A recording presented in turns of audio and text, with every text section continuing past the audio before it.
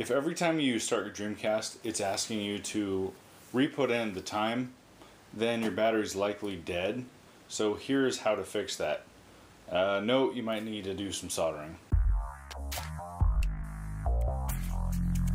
So we flip it over, and there are four screws that you want to take out.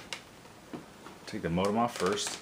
Don't use one of these, uh, although they're handy with interchangeable bits. You uh, you can't get them that far down in, for the most part. They just tend to stick because the outer shell has to be wide enough to hold the inner shell, and that's not going to work. So find a solid, a solid piece.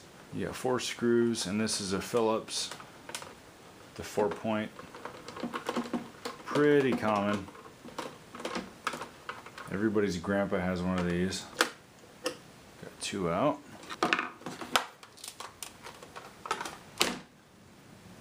This is very wiggly. If you have it resting on the top. This is one of the more simple mods, but you want to be sure to have the right parts for it. Make sure you don't have a disc in there. I've done that, try to take the top off with a disc and everything's, oh, something's freaking out. It's, it's just a disc in there. All right, set the top aside. Now what you want to do is detach this ribbon cable and there's no sort of latch it just pulls right out. And uh, you don't have to remember the orientation because these are old enough that the form will have stayed on there. What you don't want to do is what I did is uh, put a few triple A's in there.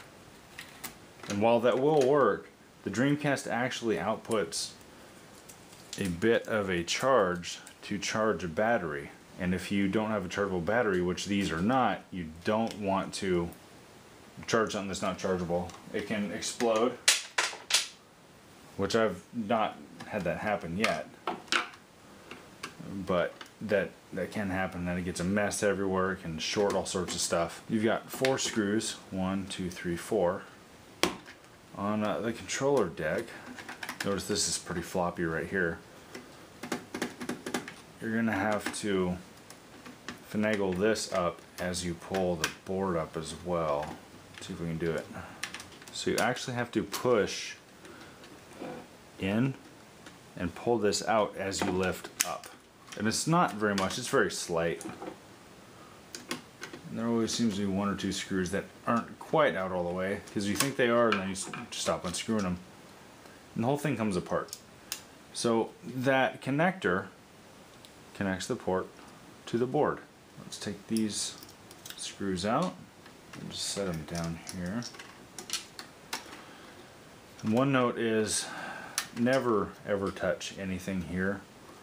Uh, it's it's a very slight chance you'll get shocked, but I have messed with enough electronics that I have been shocked enough times and it is not fun when that happens. So with my uh, my AAA adapter that I put in here, you don't want that. This can, like I said, short that out. It also runs the power here to the fan. We can just quickly disconnect that. Don't ever pull on the cords themselves because they can come dislodged uh, from the connector itself. Always pull from the connector. As odd as that feels, you don't want to ever separate that because good luck finding one of those connectors these days. So you've got the Dreamcast controller port with uh, the battery port right here it uh, it actually, I wish I would have still had this now to show you guys how to detach it. It was actually uh, soldered on here, which is great because it won't fall out. Um, but over the years, something being soldered like that, when it goes bad, you either have to desolder it or just break it off and try to resolder some new points. And it's very difficult to do that in that very slim space. So I did it on the back. And the positive is this point here. and the return of the negative is right there. So I'm going to cut this off. Or not, I could just snap it, I guess. It was uh, not a good thing that I did. Somebody on Reddit pointed out that I should not have done that specific mod because the battery needs to be rechargeable. So I'm going to put that by the wayside. And I got five pack of these on Amazon. Now I'm going to put the battery right here and it'll just connect through. Right here I don't need that second one. And this is awesome because if you close it, it will actually connect right here. A CR2032, that's what most people would think it does take and that is not true. It is an ML2032. The same thing, but ML is rechargeable. And one way to tell, uh, for whatever reason, wherever you get them, 2032 has some sort of grit on the back, and the ML does not. It's completely smooth. No idea if that's a stylistic choice. I don't know what why they've done that, um, but that seems to be pretty universal, and they're the same size and same voltage, amperage, everything. So we are going to try to solder this. Oh, hopefully I breathe a lot of that in. The return goes here, and the lead will go right there. Now this is actually Radio Shack resin core solder. which I'm pretty proud to have after Radio Shack went kaput a few months ago. I remember walking into Radio Shack as a kid and thinking it was the coolest store. Uh, I was always interested in doing this stuff as a kid. My dad wasn't. He'd just go to buy batteries and whatnot.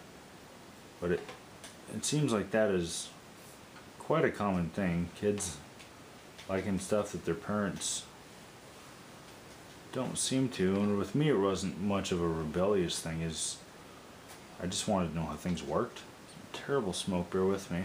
And that is the return point or negative, and that is the lead or positive. And you can take this ML 2032, let's pop it right in. Let's pop that back into the Dreamcast. And you're gonna have to bend that down a little bit, seat that back in.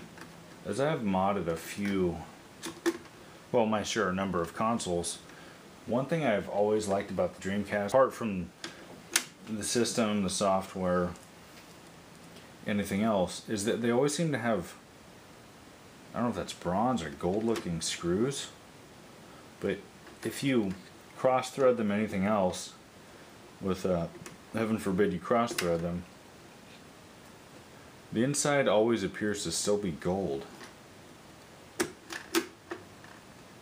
So, I don't know what that means or why that's impressive, but to me, it's awesome that a, something inside a system that at the time when it was created, nobody would think to take apart unless it was at a service center. Just a tiny part like that would deteriorate well, I guess you'd say plug this back into the board, plug that back into the controller board, and I'm just going to seat this in here. You can use tape or whatever else you want. Be sure to hook the fan back up, click, and tuck that pretty much anywhere. And usually I'm pretty good with my installs. This one is very sloppy as far as where it's holding because I do not have any tape on hand. Make sure you have your four screws down you have to actually pull this up a little bit and it will seat nicely. So let's screw that all back in. Like the video if you like the video, subscribe to see more of my ramblings, and press thumbs down if I suck. Thank you, please. This is proving to be difficult.